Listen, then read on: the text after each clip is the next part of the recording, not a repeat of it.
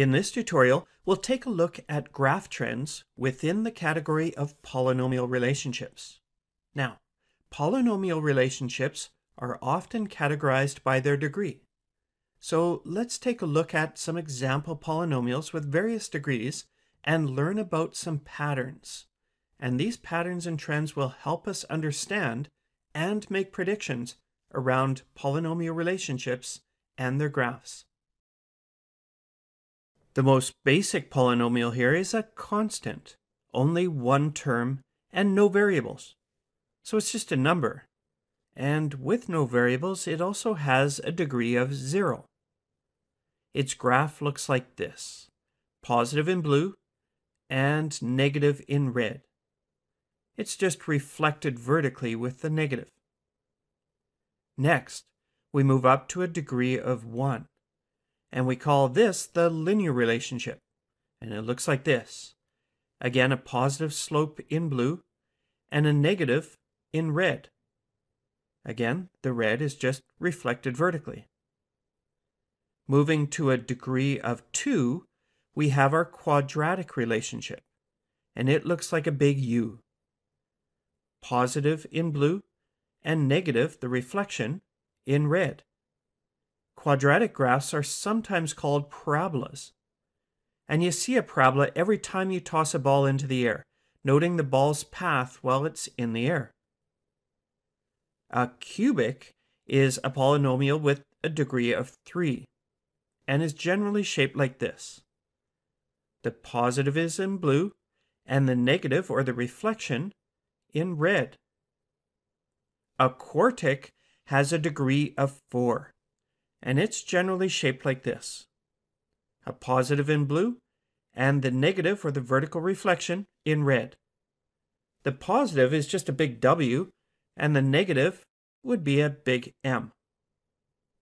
A quintic has a degree of 5, and it's generally shaped like this positive in blue, and negative or the vertical reflection in red. So let's stop there and observe some of the trends in these graphs. First, let's start by recognizing where these graphs begin and end. For a degree of 0, the constant, the positive starts in the top left and ends in the top right. The negative starts in the bottom left and ends in the bottom right. For a degree of 1, the positive starts in the bottom left and ends in the top right. The negative is opposite in that it starts in the top left and ends in the bottom right. For degree 2, the quadratic, the positive starts in the top left and ends in the top right. And the negative quadratic starts in the bottom left and ends in the bottom right. For degree 3, the cubic, the positive starts in the bottom left and ends in the top right. The negative is opposite, it starts in the top left and ends in the bottom right. For a degree of 4, the positive starts in the top left and ends in the top right, and the negative starts in the bottom left and ends in the bottom right. For a degree 5, the positive starts in the bottom left and ends in the top right. And the negative, again opposite, it starts in the top left and ends in the bottom right. Now, let's reflect on this and we can recognize some definite trends here. Trend number one. The relationships with odd degrees, that is 1, 3, 5, they all start in the bottom left and end in the top right with the negatives of those odd degrees all starting in the top left and ending in the bottom right.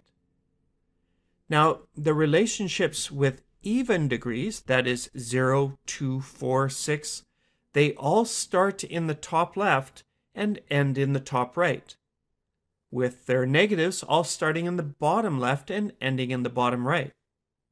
Now, this is a great trend to recognize and it expands beyond these example polynomials. For instance, if you were asked, what do you know about this equation here? You might look a bit scared and you might say, well, I'm not sure what I can say about that one. But you already know one thing. It's positive and it's an odd degree. that is, the degree is 99. Therefore, we know that this graph starts in the bottom left and ends in the top right. What exactly happens in the middle might be still unknown, but it's a start on visualizing this relationship. Trend number two. Now, this trend is related to trend number one, and it helps us know what the minimum number of x-intercepts are in these polynomial relationships. And we'll recall that an x-intercept is also called a solution when dealing with equations. Now, if positive relationships with odd degrees all start in the bottom left and end up in the top right, then we know that getting from the bottom to the top means they must cross the x-axis at least once. And in the same way, if a negative odd degree relationship must get from the top to the bottom, then they again must cross the x-axis at least once. So, the minimum number of x-intercepts for an odd degree polynomial, whether positive or negative, is 1. They must cross the x-axis at least once. Switching to even degree relationships, we see that a positive even degree one can stay totally in the top half of our graph. It can start in the top left and end up in the top right. So even degree relationships can definitely avoid crossing the x-axis altogether. In the same way, negative even degree relationships could stay in the bottom half of our graph, and again, never cross the x-axis. So, the minimum number of x-intercepts for an even degree polynomial, whether positive or negative, is zero. They can avoid crossing the x-axis altogether. So, trend two is we can determine the minimum number of x-intercepts within a polynomial relationship based on whether the degree is odd or even. The minimum for an odd degree is 1, and the minimum for an even degree is 0, that is, no x-intercepts. Trend number 3. In this one, we can determine the maximum number of x-intercepts of a polynomial relationship based on its degree. So trend 2 was based on whether the degree was odd or even. Trend 3 will be based on the actual value of the degree. For example, a non-zero constant, or degree equals zero, has no x-intercept. So we can say that it has a maximum and a minimum of zero x-intercepts. A degree of one or linear relationship simply gets from the bottom to the top or vice versa, and thus it would have both a minimum and a maximum number of x-intercepts being 1. A degree of 1 will always have one x-intercept. A degree of 2 or a quadratic relationship has one bump or change in direction.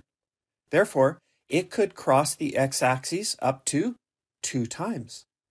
Thus, degree 2 has a maximum of two x-intercepts. Degree 3, or cubic, it would have two bumps or changes in direction, and therefore it could cross the x-axis up to three times. Thus, a degree of 3 means a maximum of three x-intercepts. Degree 4, or quartic, has a maximum of guess it, four x-intercepts. Uh, degree 5, or quintic, has a maximum of, what do you figure? 5 x-intercepts. So you probably see the trend. The maximum number of x-intercepts in a polynomial relationship is related to the degree of that relationship. And in fact, not only related, they're equal. The maximum number of x-intercepts is the degree of the relationship. So, we've discovered and documented three trends related to the degree of a polynomial relationship. Once you've seen these and worked with them a bit, they're pretty easy to remember. But if you're ever wanting to double check yourself in a test or something, it's easy to think back to some of the more basic versions. I often think back to a degree of 1 as being linear, and it's easy to remember that degree 1 goes from lower left to top right for positive, and it crosses the x-axis once, and only once. So that's kind of my basis for the odd degree relationships. The even degree relationships, well, an easy one to remember is a quadratic. It always starts in the top left and turns around and heads up back to the top right. So clearly it can avoid the x-axis altogether, or touch it once, or cross it twice. And that's my reference for the even degree relationships. Remembering some basic examples will help you remember the trends that we've covered here.